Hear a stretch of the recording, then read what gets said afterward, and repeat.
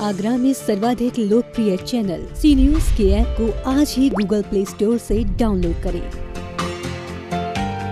थाना बरहन पुलिस ने कोरोना महामारी के चलते चेकिंग अभियान चलाया। अभियान में बिना मास्क और बिना हेलमेट के लोगों के पुलिस ने चालान किए।